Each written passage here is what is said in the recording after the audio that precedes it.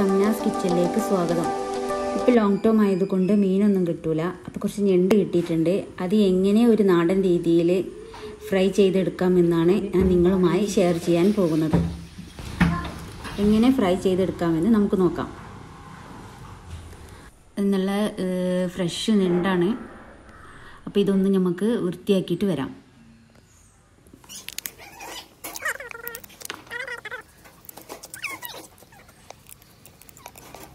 ഇനി ഇതൊന്ന് നല്ല രീതിയിൽ ഒന്ന് കഴുകിയെടുക്കാം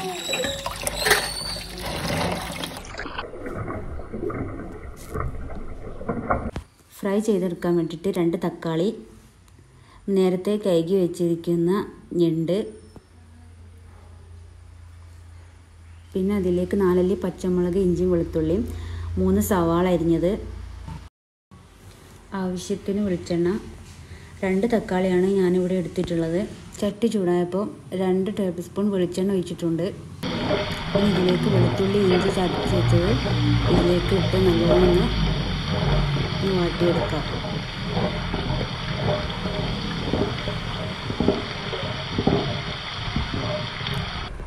ഇതിലേക്ക് ഉള്ളി അരിഞ്ഞ് വെച്ചത് പച്ചമുളക് ഇട്ട് ലേശം ഉപ്പിട്ട് കൊടുക്കുക അത് നല്ലോണം ഒന്ന് വാടി കിട്ടാനാണ്. അതിലേക്ക് തക്കാളി ഇട്ട് കൊടുക്കുക. എന്നിട്ട് നല്ലോണം ഒന്ന് മിക്സ് ചെയ്ത് കൊടുക്കുക. ഇപ്പോൾ ഇതിലേക്ക് മസാലപ്പൊടി ഒന്നും ചേർക്കണില്ല. ഇതൊന്ന് അഞ്ച് മിനിറ്റ് ഒന്ന് അടച്ച് വെച്ചൊന്ന് വേവിച്ചെടുക്കാം. ഇത് നല്ലോണം വെന്തിട്ടുണ്ട്.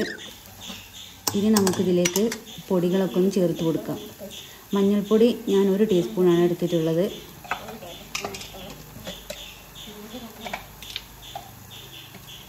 മുളകും പൊടി രണ്ട് ടേബിൾ സ്പൂണ്.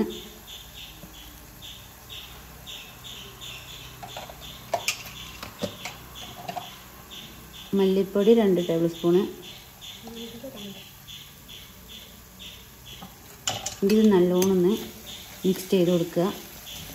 ഞാനിത് അടച്ചു വെച്ച് പൊടികളൊന്നും ഇടാതെ വേവിച്ചെടുത്തത്. ഉള്ളിയൊന്നും വാടി അതുകൊണ്ടാണ്. അതിന് ശേഷമാണ് ഇപ്പോൾ പൊടിയൊക്കെ ഒന്ന് ചേർത്ത് മിക്സാക്കി കൊടുക്കുക.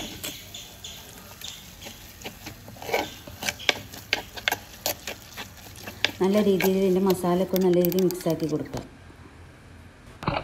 ഇതിലേക്ക് വൃത്തിയാക്കി വെച്ചിരിക്കുന്ന ഞണ്ട് ഇട്ട് കൊടുക്കുക. കുറച്ച് വെള്ളം പാ ഒഴിച്ച് കൊടുക്കുക. ഇതൊന്ന് വറ്റിച്ചെടുക്കാൻ പാകത്തിലുള്ള വെള്ളം നമുക്കിതിൽ ഒഴിച്ച് നല്ല രീതിയിലൊന്ന് മിക്സാക്കി എടുക്കുക. ഇപ്പോൾ ഇതാ ഇത് നല്ല രീതിയിലൊന്ന് വറ്റി വന്നിട്ടുണ്ട്. ഞണ്ടൊക്കെ കുക്കായി എന്ന് വന്നിട്ടുണ്ട്. ഇത് നിങ്ങളെല്ലാവരും ട്രൈ ചെയ്യണം. ഇനി ഇതായിട്ടുണ്ട്. ചട്ടി ഒന്ന് നമുക്ക് മാറ്റി വെക്കാം.